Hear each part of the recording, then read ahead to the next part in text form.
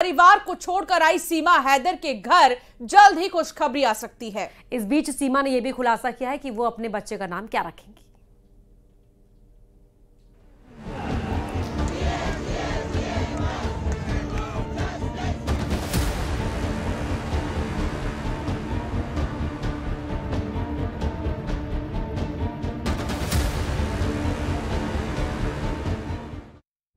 पाकिस्तान में आम सीमा हैदर पिछले साल मई में पाकिस्तान छोड़कर भारत की सरहद पार करके आई। इसके बाद वो अपने प्रेमी सचिन मीणा के साथ ग्रेटर नोएडा में ही रह रही हैं। सीमा अपने साथ अपने चार बच्चे भी लाई थी। वो भी सचिन और सीमा के साथ यहीं रहते हैं। इस बीच सीमा हैदर ने सोशल मीडिया में एक इंटरव्यू दिया है।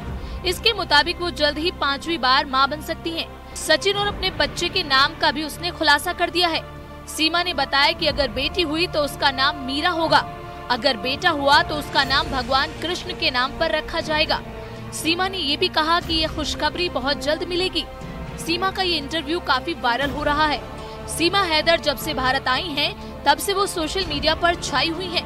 वो खुद को भारतीय कहती हैं। उसने भारतीय नागरिकता के लिए आवेदन भी किया है सीमा हैदर खुद को सनातन के रंग में रंगा हुआ दिखाती हैं। वो भारत में सभी त्योहार मनाती हैं और उनके वीडियो भी सोशल प्लेटफॉर्म पर डालती रहती हैं।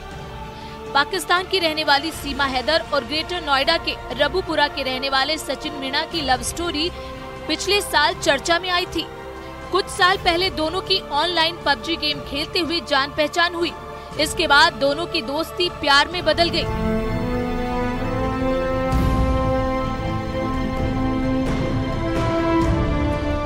जिसके बाद दोनों नेपाल में मिले सीमा और सचिन ने ये भी दावा किया कि दोनों नेपाल में शादी कर चुके हैं। तभी से वो दोनों साथ साथ रह रहे हैं। भारत आने के एक महीने तक दोनों छिप कर रह रहे थे, लेकिन बाद में दोनों के बारे में पता लगा। पुलिस ने दोनों को हिरासत में भी लिया, हालाँकि बाद में जमानत मिल गई। अभी वो जाँच के घेरे में है। फ़िलहाल उसके माँ बनने की चर्चा जोरों पर है। Bureau report, news eighteen.